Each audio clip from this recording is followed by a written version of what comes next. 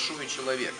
Человек, выигравший любительский Арнольд Классик, сходу вошедший девятку на профессиональном помосте на Арнольде и недавно занявший девятое место на Орландо Экспо Еврогеймс.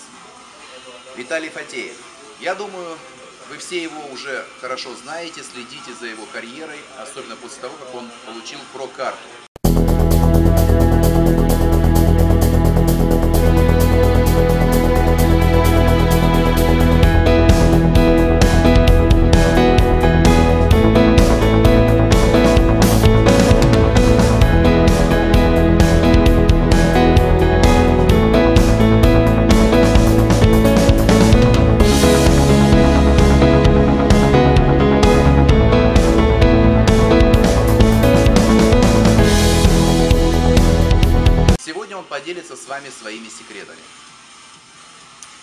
Сожалению, приношу извинения Виталию и вам, большая часть интервью почему-то пропала с карты памяти, хотя файлы технически остались.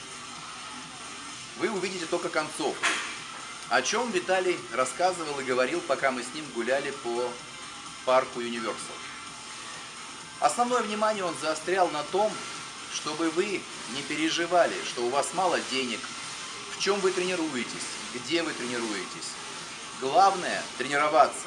Тренироваться, пахать, работать, верить в свою идею, в свою мечту, окружать себя только людьми, которые будут вас поддерживать, помогать вам на этом пути. Никогда не сравнивайте себя с кем-то другим. Сравнивайте себя только с самим собой, вчерашним. И становитесь лучше сегодня. Тогда все будет хорошо в будущем. Тренируйтесь. Не смотрите на соседа, не смотрите на того, кто тренируется рядом с вами. Не слушайте никакие негативные отзывы в свой адрес. Оденьте шоры как лошадь и идите вперед. Если у вас нет денег хорошо, грамотно питаться, тоже не стоит переживать. Тренируйтесь. Придет время, вы наладите свое питание, как спортивное, так и натуральное. Самое главное идти к своим целям. Если вы посмотрите, то жизнь показывает, что тот, кто начинал с самых низов, достигает вершин. Тот, кто начинает уже на подготовленной почве, богатые родители, еще там что-то, тот более расслабленный, у того не такая воля к победе, не такая вообще сама по себе железная воля. Самое главное, ребята, тренироваться. Верить в себя, верить в успех. Окружение в вашей жизни решает очень многое.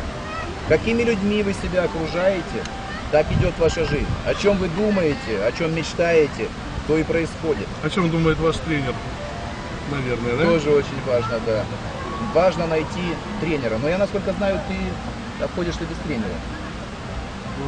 Ну, ты знаешь, вначале, да, вот я всегда говорю то, что мной занимался Сергей Кошкин, это международный мастер спорта и чемпион мира по штанге, который поставил мне все эти техники. И я был пацаном там 16-летним, который и не знал, что бел- белки, жиры, углеводы. Буквально там через неделю я показал те результаты, на которые в принципе не рассчитывал. Я выиграл в абсолюте, можно сказать, э, местный конкурс э, по пауэрлифтингу.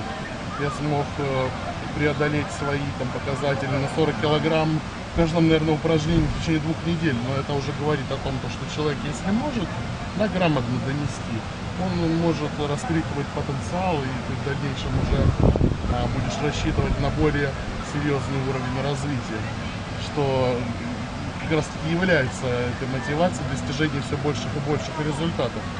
И возвращаясь к теме, опять-таки, на подбора персонала, вот э, то, что занимается Егор, можно перечислить, э, наверное, всех, да, кто у него работает тренером, все являются призерами э, соревнований.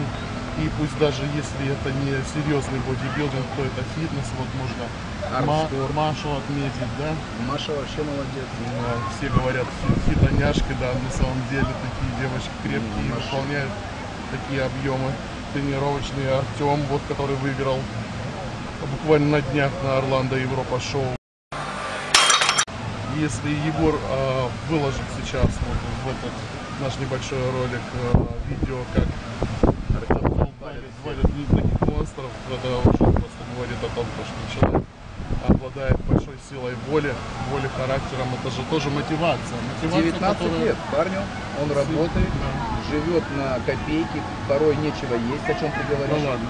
Но Я бы не сказал, что в Америке нечего есть. Приукрашивает. Ну, парень, парень зарабатывает себе на жизнь полностью целиком сам в 19 лет. Да. И Работает, и он, кстати, недавно сказал, то, что он зарабатывает гораздо больше, чем Егор зарабатывал в его возрасте. Я это слышал. И не жалуется, ходит на тренировки. Э, Это очень-очень важно.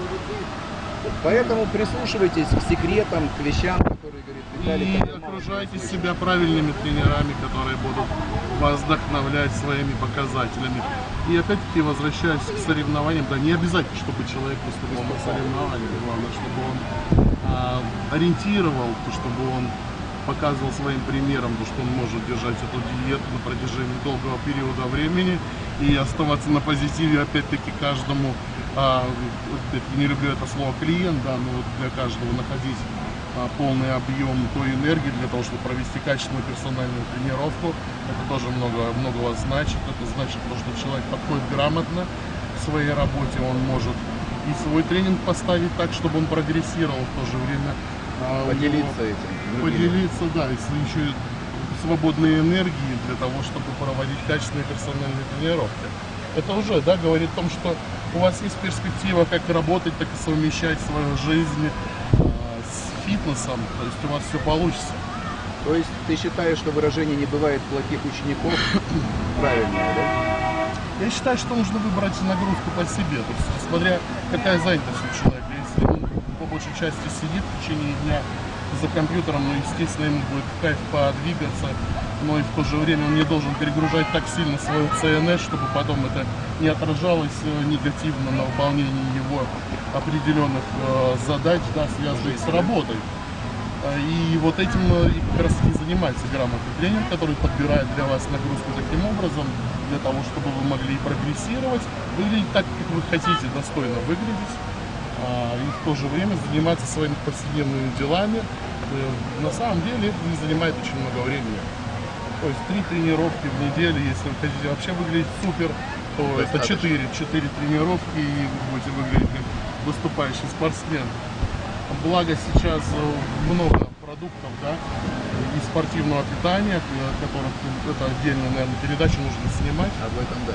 Если у вас не бывает возможности, к примеру, поесть, спортфит прекрасно подходит в плане того, чтобы носить его с собой и перекусить им, если вы не можете, к примеру, поесть нормальной пищи. Это очень-очень важно. Никогда не пропускайте приемы пищи. И пользуйтесь спортфитом именно, чтобы качество, Дополнять. качественным спортивным питанием. Не ведитесь на рекламу того, что вам могут предложить там, э, допустим, немножко дешевее бренд, э, лучше, конечно, выбрать э, что-то такое среднее, то, что вам по карману, и вы будете точно уверены в качестве спортивного питания, потому что э, да, сейчас тоже в связи с кризисом, но опять-таки это отдельная тема, отдельная тема, да, может которой, как-нибудь осветим ее в другой раз. я думаю, обязательно. Да, да. Спасибо, Виталь, большое, что уделил нам Спасибо внимание. вам, занимайтесь. Увидимся в тренажерном зале. Всем пока.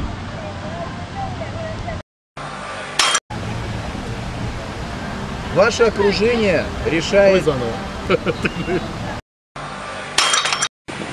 Рекламная пауза. Да. Так что, друзья, обращайте внимание на внутреннее, а не на внешнее. Если вы хотите тренироваться, то тренируйтесь. Не ищите причины, чтобы не ходить в зал. Что там нет у вас хорошей качалки, она далеко. Если надо, вы пешком два часа пройдете и будете тренироваться. Я не пошел. Я ходил, я работал на конвейере. Весом 130 килограмм, ну, Ну, это проблематично. 40 минут я шел после работы, после конвейера, чтобы потренироваться пешком. Но не об этом речь. Ну да. Конечно, не все же весят. Сумасшедшие. Да. Не все же Ты сумасшедшие. хотел более, да, подобрать. Самый главный совет, который дал вам Виталик, тренируйтесь. Тренируйтесь, если вы только начинаете, как пауэрлифтер. Слушай, не видно, все нормально. Поехали. Какие основные рекомендации именно для тренинга? Если у вас нет возможности есть спортивное питание, не переживайте. Иногда бывает время, Вы когда-нибудь начнете его есть. Да.